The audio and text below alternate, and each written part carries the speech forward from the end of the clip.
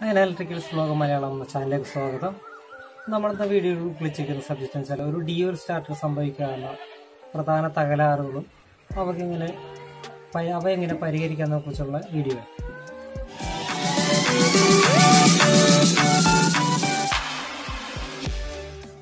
അപ്പോൾ നിങ്ങളുടെ channel subscribe ചെയ്തില്ലെങ്കിൽ ഉടനെ സബ്സ്ക്രൈബ് ചെയ്യാം കൂടാതെ ബെല്ലൈക്കൺ കൂടി എല്ലാം വെച്ച് കഴിഞ്ഞാൽ ഞാൻ അപ്ലോഡ് ചെയ്യുന്ന വീഡിയോകളുടെ നോട്ടിഫിക്കേഷൻ നിങ്ങൾക്ക് അപ്പോൾ ലഭിക്കുന്നതായിരിക്കും. അപ്പോൾ നമുക്ക് വീഡിയോയിലേക്ക് പോവാം. ഇതാണ് ഒരു മൊത്തത്തിലൊരു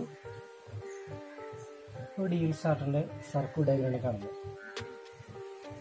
ഇതിൽ ഈ കാണുന്ന ഭാഗമാണ്.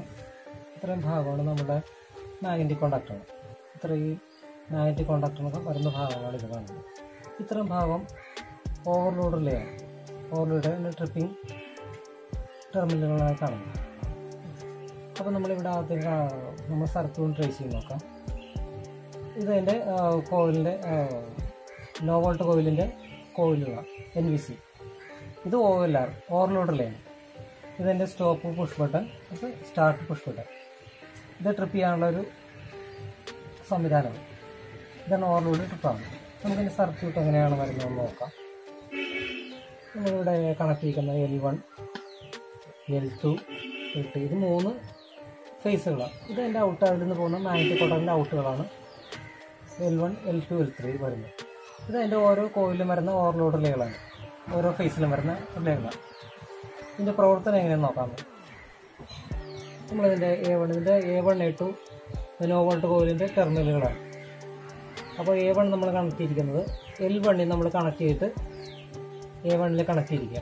എൽ വണ്ണിൽ നിന്ന് കണക്ട് ചെയ്തിട്ട് നമ്മൾ കോയിൽ കണക്ട് ചെയ്യും. രണ്ടാമത്തെ ടെർമിനൽ കണക്ട് ചെയ്ത് എ ടു കണക്ട് ചെയ്തിരിക്കുന്നതല്ല നോക്ക് ഇതുപോലെ എൽ ടുവിന് വന്നിട്ട് ഇതിന്റെ ഒരു ഓക്സിലറി ടെർമിനൽ ഓക്സിലറി കോണ്ടാക്ട് ഉണ്ട്. ഈ മാഗ്നറ്റിക് കോണ്ടാക്ട് നാല് കോണ്ടാക്ട് മൂന്ന് ഫേസും ഒരു ഓക്സിലറി കോണ്ടാക്ട് ആണ് ഇത് ഓക്സിലറി കോണ്ടാക്ട് ആണ് ഇതിന്റെ ഇന്ന ഇന്നിൽ വന്ന് ഗേജ് ചേർന്നു അതിനുശേഷം ആ പോയിന്റ് തന്നെ ഒരു കണക്ഷൻ വന്നിട്ട് നമ്മുടെ സ്റ്റോ സ്റ്റാർട്ട് പുഷ് ബട്ടൺ വന്നിരിക്കുന്നു. ഈ സ്റ്റാർട്ട് പുഷ് ബട്ടൺ വന്നു നിന്ന് പിന്നെ വരും നോക്കാം. ഇതിനെ കണക്ട് ചെയ്തിട്ട് ഈ ഓവർലോഡ് ട്രിപ്പിംഗിലേ വന്നിട്ട് ആ ടെർമിനലിൽ നിന്ന് വന്നിട്ട് സ്റ്റോപ്പിൽ വന്നിട്ടുണ്ട്. സ്റ്റോപ്പിൽ വന്നിട്ട് തിരിച്ച് കയറി നമ്മളിവിടെ എൽ ത്രീയിൽ വന്ന് കണക്ട് ചെയ്തിരിക്കും. അപ്പോൾ രണ്ടാമത്തെ വയസ്സിൽ വന്ന് കണക്ട് ചെയ്തിരിക്കും. അപ്പോൾ ഈ കോ കോയിലിന്റെ വോൾട്ടേജ് ഫോർ ഫോർട്ടി വോൾട്ടാണ് കോയിൽ വർക്ക് ചെയ്യുന്നത്. അപ്പോൾ നമ്മൾ സർക്യൂട്ട് ഇപ്പോൾ നമ്മൾ പ്രസ് ചെയ്യുമ്പോൾ ഓൺ ചെയ്യുമ്പോൾ എങ്ങനെയാണ് ഇത് വർക്ക് ചെയ്യുന്നത് നമുക്ക് നോക്കാം. ഈ കണ്ടീഷനിൽ ഇപ്പോൾ ഇത് ഓഫ് ആയിരിക്കും. നമ്മളിപ്പോൾ ഓഫ് നമ്മളിപ്പോൾ സ്റ്റാർട്ട് പ്രസ് ചെയ്തു. സ്റ്റാർട്ട് പ്രസ് ചെയ്ത് കഴിയുമ്പോൾ ലൈൻ എൽ വൺ ഇതിൽ കൂടി കയറി തിരിച്ച് ഇതിൽ കോയിൽ ഈ ഇതിൽ കൂടി തിരിച്ച് വന്നിട്ട് ഫേസ് ഇവിടെ വരുന്നു. ഇതുപോലെ തന്നെ ഈ ടെർമിൽ കയറി തിരിച്ചു വന്നിട്ട് ഇവിടെ വരുന്നു. എൽ വൺ കണക്ട് ചെയ്ത് ഇതിപ്പോൾ നോർമലി നമ്മൾ പ്രസ് ചെയ്ത് കഴിഞ്ഞു. പ്രസ് ചെയ്ത് കഴിയുമ്പോൾ ഈ സപ്ലൈ കയറി ഇവിടെ തിരിച്ച് ഇവിടെ വരും. കണക്ട് ആവും. ഇതിൽ കണക്ട് ആയിട്ട് ഇതിൽ വന്നിട്ട് ഈ ടെർമിൽ വരും. ഈ ടെർമിൽ ടെർമിൽ ഇത് ശരിക്കും ഒരു ഇന്റേണലായിട്ട് വരുന്ന ഒരു ടെർമ് ഒരു ഭാഗമാണ്. ഇതൊക്കെ പുറത്ത് കാണാൻ പറ്റുന്നില്ല. ഇത് വർക്ക് ചെയ്യുമ്പോൾ അത് ട്രിപ്പിംഗ് ചെയ്യുന്ന അതിന്റെ സിസ്റ്റം ഉള്ളിലാണ് വർക്ക് ചെയ്യുന്നത്. അപ്പോൾ നമ്മളത് നമ്മൾ കാണുമ്പോൾ ഈ രണ്ട് ടെർമിൽ മാത്രമേ സ്റ്റാർട്ട് പോസ്റ്റിന് സ്റ്റോപ്പിന് മാത്രമേ ഉള്ളിൽ കാണുന്നുള്ളൂ. അപ്പോൾ നമ്മൾ ഇതിൽ ഈ ടെർമിനൽ വഴി കയറി വന്നിട്ട് ഇത് സ്റ്റോപ്പ് സ്പോട്ടിൽ കയറിയിട്ട് തിരിച്ച് ഇതിലെ വരികയും ആ ടൈമിൽ നമുക്കിത് നമ്മളിത് പ്രസ് കൊടുക്കുമ്പോൾ ഇത് മാഗ്നറ്റിക് കോണ്ടാക്ടർ ഓൺ ആവും. ഓൺ ആകുന്നതിന്റെ ഒപ്പം തന്നെ ഈ ഓക്സിലറി കോണ്ടാക്ടർ പിടിക്കും. അപ്പോൾ ഈ സപ്ലൈ നമുക്ക് പിന്നെ കിട്ടുന്നത് നമ്മൾ ഓൺ ചെയ്ത് കഴിഞ്ഞ് ഓൺ ചെയ്ത് കഴിയുമ്പോൾ ഇത് കോണ്ടാക്ട് ആവും. എല്ലാം കോണ്ടാക്ട് ആയി. ഇതെല്ലാം സപ്ലൈ തിരിച്ച് ഇതിലെ ഒരു ഓലാറ് ഔട്ടിൽ മോട്ടറിലേക്ക് പോകും. അപ്പോൾ ഇതിൽ വരുന്നത് ഈ ഈ ഓക്സിലറി കോണ്ടാക്റ്റിൽ നിന്നും കയറി തിരിച്ചതും കോണ്ടാക്ട് ആവുള്ളൂ. അപ്പോൾ ഈ സമയത്ത് ഇതിൽ കണക്ട് ചെയ്തിട്ട് തിരിച്ച് വന്നിട്ട് ഇതിൽ ഈ ടെർമിനൽ വരും. ഈ ടെർമിനൽ വന്നു കഴിയുമ്പോൾ ഇത് വഴി കയറി ഈ ലൈൻ വഴി കയറി തിരിച്ച് ഇത് സ്റ്റോപ്പ് പുഷ് ബട്ടണ ഇത് കയറി തിരിച്ച് എൽ എൽ ത്രീയിൽ വന്നിട്ട് അവസാനിക്കും. ക്ലോസ് അങ്ങനെ സർക്യൂട്ട് ക്ലോസ് ആയിട്ട് ഇത് മാഗ്നറ്റിക് ഇതിന്റെ കോയിൽ എനർജി ചെയ്തിട്ട് ഹോൾഡ് ചെയ്ത് നിൽക്കുന്നു. അപ്പോൾ നമ്മൾ കൈ വിട്ട് കഴിഞ്ഞാൽ നമ്മൾ സ്റ്റാർട്ട് ഒന്ന് പ്രൊസീഡ് കൈ വിട്ടാണ് പിന്നെ സപ്ലൈന്റെ കോയിൽ കിട്ടുന്നത് ഇതുവഴിയായിരിക്കും. ഈ ഓക്സിലറി കോണ്ടാക്ട് വഴിയാണ് നമുക്ക് പിന്നെ ഈ കണക്ഷൻ നമുക്ക് കിട്ടി. ഇതിൽ വന്നിട്ട് സർക്യൂട്ട് ക്ലോസ് ആകും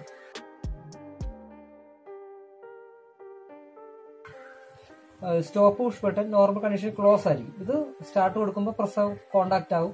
സ്റ്റോപ്പ് എന്ന് പറയുന്നത് നമ്മൾ സ്റ്റോപ്പ് പ്രസ് ചെയ്യുമ്പോൾ ഓപ്പൺ ആകുകയും ചെയ്യുന്നത് ഈ സർക്യൂട്ട് ഓപ്പൺ ആയിട്ട് ഇതിലെ സർക്യൂട്ടിലേക്കുള്ള എനർജി എനർജീസ് ചെയ്യുന്ന കോവിലേക്കുള്ള സപ്ലൈ കട്ടായി പോയി ചെയ്യും ആ സമയത്ത് ഡിമാഗ്നറ്റൈസ് ചെയ്ത് റിട്ടേൺ പോകും. അങ്ങനെയാണ് മോട്ടോർ ഓഫ് ആകും ഓൺ ഓഫ് ആകുന്നത് ഈ ഓവർലോഡ് റിലേയുടെ പ്രവർത്തനം വെച്ചാൽ ഇത്തരം ഭാഗമാണ് നമ്മുടെ ഓവർലോഡ് റിലേ വരുന്നത്. ഈ ഓവർലോഡ് റിലേയിൽ വരുന്നത് അത് അതായത് മോട്ടർ ഹൈ കറണ്ടൊക്കെ ചൂടാക്കുക ചെയ്യുന്ന സമയത്ത് ഇതിൽ ഈ നമ്മുടെ ഒരു ബയോമെട്രിക് സ്ട്രിപ്പിൽ കൂടിയാണ് ഇത് വൈൻഡ് ചെയ്ത് പോയിരിക്കുന്നത്. അപ്പോൾ ഈ ചൂട് കൂട് ഉണ്ടാകുന്ന സമയത്ത് ആംബിയർ കൂടുതൽ പാസ് ചെയ്യുന്ന സമയത്ത് ചൂട് കൂടുതലുണ്ടാവും ഈ ചൂട് ഉണ്ടായി കഴിഞ്ഞ സമയത്ത് ഇതിന്റെ ഒരു ടെർമിലുകൾ ഇങ്ങനെ ഇത് എല്ലാ മൂന്നിന്റെ കൂടെ ഒന്ന് ലിങ്ക് ചെയ്യിക്കും ടെർമിൽ ഇതിലൊരു ഒരു ബയോമെട്രിക് സ്ട്രിപ്പാണ് ആ സ്ട്രിപ്പ് ഇതിനിങ്ങനെ ചെറിയ ബെൻഡായി കൊടുക്കും. ബെൻഡായി കൊടുത്തു കഴിഞ്ഞാൽ ഈ സർക്യൂട്ടിൽ നിന്ന് തട്ടിയിട്ട് ഈ സർക്യൂട്ട് ഇങ്ങനെ ഓപ്പൺ ആയി പോകും. ഈ കൊടുത്തിരിക്കുന്ന കോണ്ടാക്ട് ഇങ്ങനെ ഓപ്പൺ ആയി കഴിയുമ്പോൾ ഇതിങ്ങനെ വേറെ കീഴ് താഴേക്ക് വരും. ഇതൊരു മൂവിങ് കോണ്ടാക്റ്റാണ് ഈ താഴേക്ക് വന്നു കഴിയുമ്പോൾ ഇതിലേക്കുള്ള സപ്ലൈ കട്ടായി പോകും. ആ സമയത്തും ഇതുപോലെയൊക്കെയുള്ള നമ്മുടെ നോവോൾട്ട് പോലെയൊക്കെയുള്ള പവർ സപ്ലൈ കട്ടായി പോകും. കട്ടായി പോകുന്നതുകൊണ്ട് ഈ ഓട്ടോമാറ്റിക്കായിട്ട് സ്റ്റാർട്ടർ ഓഫ് ആവും. അതാണ് ഇതിന്റെ പ്രവർത്തന ഇതാണ് നമ്മൾ ഉപയോഗിക്കുന്ന എൽ സ്റ്റാർട്ടറാണ്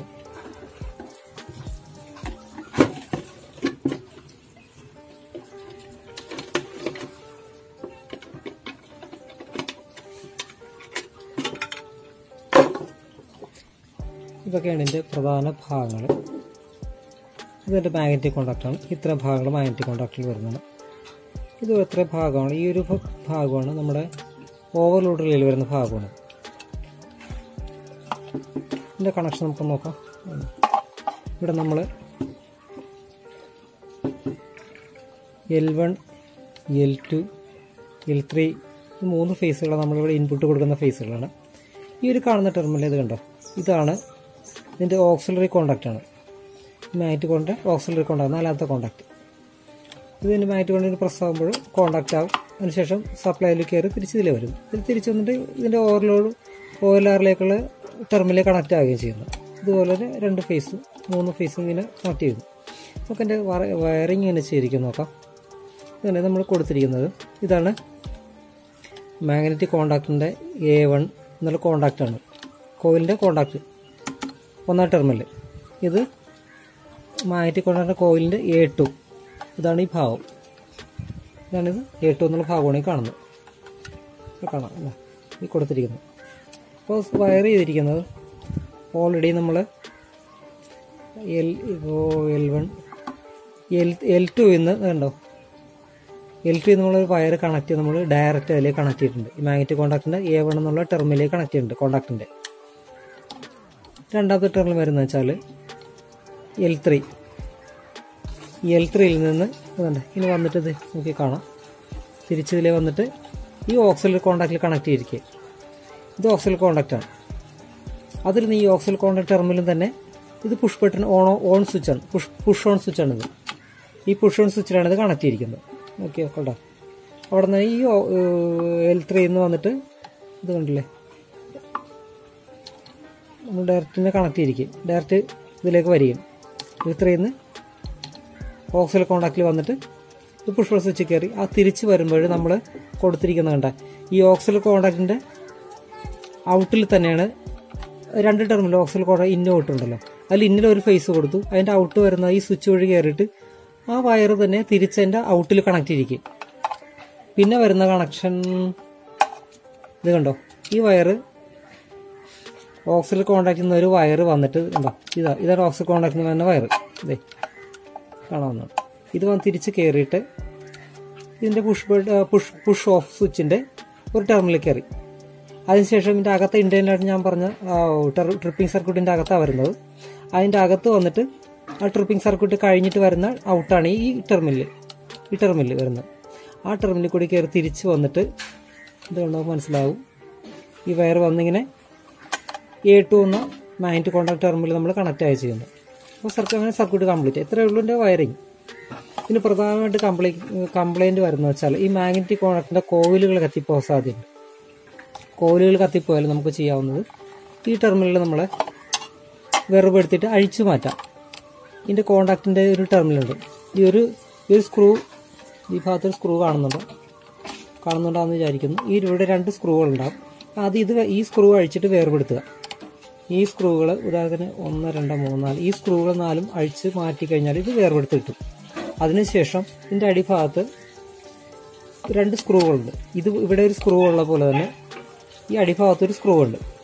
ആ സ്ക്രൂ അഴിച്ചു കഴിഞ്ഞാൽ നമുക്ക് ഇതിന്റെ കോയിൽ മാറ്റിയിടാം. സാധാരണ കോയിലാണ് സാധാരണ കംപ്ലൈന്റ് വരാറുള്ളത്. കോയിന്റ് വരും കോയിൽ കംപ്ലൈന്റ് വരും നമ്മളത് അഴിച്ച് റീപ്ലേസ് ഇടാവുന്നത്.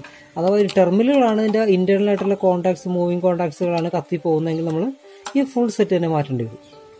പിന്നെ അടുത്തായി വരുന്ന പ്രശ്നം ഈ ഓവർലോഡ് റിലേയിൽ വരുന്നൊരു പ്രോബ്ലമാണ് ഓവർലോഡ് റിലേയിൽ വരുന്ന സാധാരണ ഇത് നമ്മൾ ഈ സെറ്റിങ് സാധാരണ മോട്ടർ നമ്മൾ ലോഡ് കണക്ട് സെറ്റ് ചെയ്യുമ്പോൾ തന്നെ നമ്മൾ ചെയ്യേണ്ടത് ലോഡ് വർക്ക് ചെയ്യുമ്പോൾ തന്നെ കുറഞ്ഞ ആംബിയറിൽ വെക്കുക. ഇത് ഓരോ എച്ച് പിക്കും അതിനനുസരിച്ചുള്ള കോൺട്രാക്ടറാണ് കിട്ടുന്നത്.